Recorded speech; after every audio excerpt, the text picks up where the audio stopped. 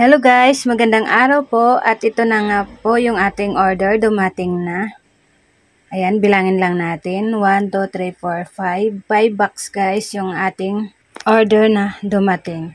At natuwa lang ako guys, kaya gusto ko lang ibahagi para doon sa mga baguhan pa lang mag sari-sari store no, kung nag-iisip sila kung ano yung mabinta dito sa ating tindahan. Kaya naman, for today's video ay gusto ko lang ibahagi itong mabintang items na ito guys. Kasi nagulat kasi ako dati, nag-order lang ako ng konti. Nung dinisplay ko siya talagang Nagulat ako, ang bilis niya maubos. Binalik-balikan ng ating mga customer. Kaya yan, nag-stock tayo ng bongga. Dinamihan na natin pag-order guys. Kaya panoorin nyo lang to hanggang dolo para malaman nyo kung ano-ano ang mga ito. No? Kaya kung bago ka pa lang sa aking channel, huwag kalimutang mag-like, subscribe, keep on watching. At natuwa nga ako guys nung dinisplay ko siya talagang ubos ka agad siya no? Kaya ito ipapakita ko muna sa inyo bago ko i-display no? Para magka-idea din kayo yung mga baguhan pa lang mag sar store. Kaya dito natin umpisan guys sa isang box. Ipapakita ko lahat sa inyo no? Para ito ito kasi yung mga mabinta sa atin. Kaya naman yung iba nagdagdag tayo Ayan, bubuksan lang natin dito, no. Masarap kasi sa pakiramdam yung maubos kagad yung ating mga paninda, bilis ikot puhunan, no. At ito nga guys, nagdagdag tayo ng Joy Liquid. Dahil mas mabinta sa atin yung Joy Liquid na big guys, kaya ang dinagdagan natin. At saka itong mga fast moving na mga shampoo, ayan, nagdagdag lang tayo ng paisa-isa, no. Isang dosina. At natuwa naman tayo dahil may presya. At itong Bioderm na blue, isang dosina. At saka Tide Bar taba, 20 pieces ang ating in order. Kasi siyempre, kung ano yung mabinta nung mas dagdagan natin. Tapos close up. Ayan, may Prudensya guys. Isa lang. Tapos itong short bar taba, 10 peraso. Ayan lang yung laman ng isang box. Yun mga dinagdag natin. Tapos dito naman guys, bubuksan lang natin. Ayan. Ang laman naman dito ay mga noodles. Nag Itong cup noodles talagang mabinta po ito sa atin. Kaya naman nag order tayo ng puro spicy lang. Spicy beef. Tapos spicy bulalo. No? Tsaka yung seafood. Yun, yun lang yung mga dinagdagan natin. Siguro sa isang box nakalagay yung iba. Tapos itong chicken noodles guys. Ayan. Sampu lang piraso in order natin. No? Siguro nasa ibang box din yung iba. Tapos itong spicy na beef na noodles din. Mabinta ito kaya dinagdagan natin. Yan lang yung mga mabinta sa atin guys na mas dinagdagan natin para bilis ikot puhunan. Kaya, ayan, dito naman tayo. Ayan nga, nandito nga nakalagay yung ibang cup noodles na spicy. Kasi nga, mas dinagdagan natin, no. Ito kasi yung mabinta sa atin, no. Kaya, panoorin nyo lang guys hanggang dulo, no, kung ano yung pinakamabinta dito sa atin. Mamaya ipapakita ko sa inyo.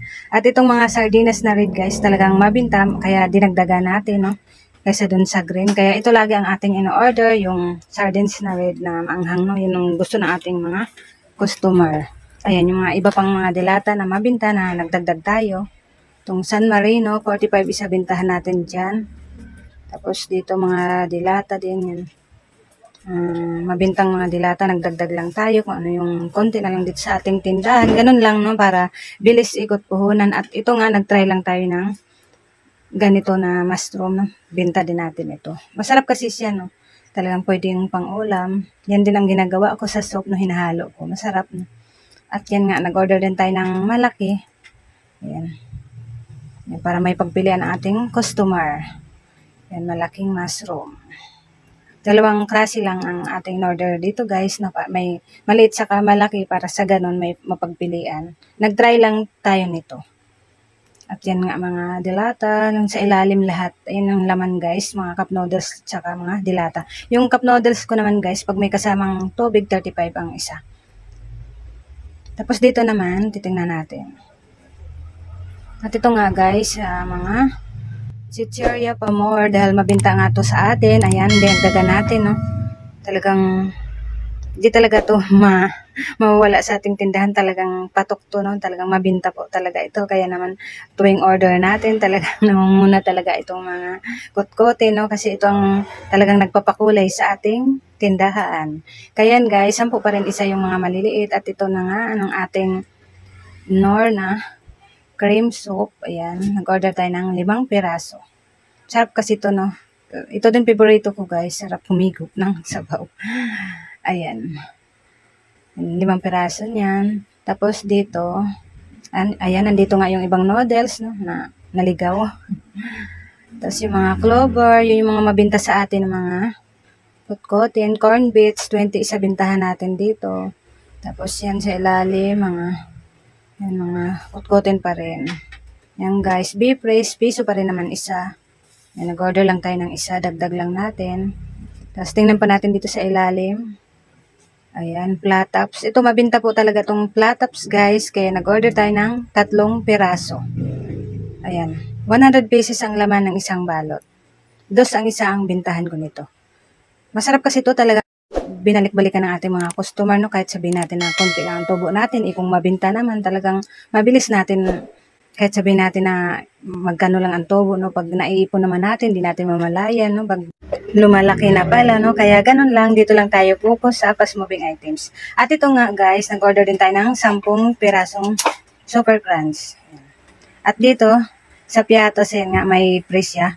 Tapos dito sa tempura guys, yan, nag-order din tayo ng tatlong piraso nitong malaki, no? Tempura. Tapos ayan, may free nga itong Piatos, no? Natuwa naman tayo dahil may promo, no? Kahit di tayo ang kumuha doon. At sinabi ko lang na yun ang ibigay sa akin yung may mga promo kasi di naman natin nakikita, no? Kasi dineliver lang naman itong items na ito sa ating tindahan. Yan nga, no? Pwede natin ibenta itong manghuwan. Sampo isa yung manghuwan, guys, na maliit. At ito nga yung super crunch. Yan, patatabi guys. 30 ang isa bintahan natin. Tanggalin lang natin itong sa ibabaw para makita natin yung sa ilalim. At ito na nga guys, yung sinasabi ko, talagang ang bintan niya.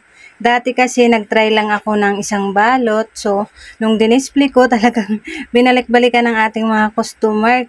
So, nag-order ako ng mga ilang beses ko na siya in order. Naubusan nga sila ng stock, no? Kaya ngayon, buti na lang mayroon na silang stocks. Kaya, yan, masaya tayo, no? At ito nga, dinamihan na natin. Talagang mabinta to, natuwa naman ako. Kahit sabihin natin na dos mahigit lang yung ating tobo dito, at least mabilis naman mabinta, kaya mabilis din natin maipon yung dalawang piso na yun, di ba? At ito nga in-order natin ay limang balot, so 50 pieces lahat sila guys, kaya yan dinamihan na natin kasi para hindi ka agad-agad maubusan, no? Ganon lang ang diskarte ko guys, no? Para mabilis ikot ang ating maliit na puhunan, no? Mag-stock lang tayo ng mas mabinta. At dito naman guys, hinatid kanina ng ahinti natin sa Rebisco. Kaya yan, i-display na rin natin. No? Natambakan na tayo ng i-display dito. Nagsabay-sabay kasi kanina yung ating delivery. Kaya yan, ito nga yung resibo natin. Ang total na binayaran natin sa Pure Gold guys ay 5,798. Ayan, yan, Ayan na yan guys, no? yung mga dinagdag natin na mas mabinta dito sa ating tindahan. Kaya naman, mag-display na naman tayo. No? Ganito lang ating mga buhay tendera talaga.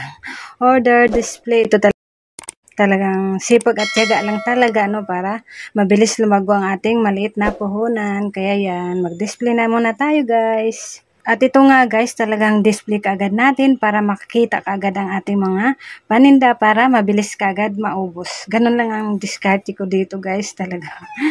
Ayan, pahinga lang tayo ng konti, tuloy na naman no kasi siyempre naghabol tayo ng binta at gusto din natin mapaubos kaagad yung ating mga paninda kasi yung mga ahinti tuloy-tuloy yan, pupunta lagi dito sa atin. Siyempre gusto din natin na may ma-order tayo at nahiya din naman tayo kung konti lang yung orderin natin. Kaya ito ang ginagawa ginagawa natin pagkadating ng pagkadating ng mga stocks dito sa ating tindahan. Talagang kilos kaagad, no?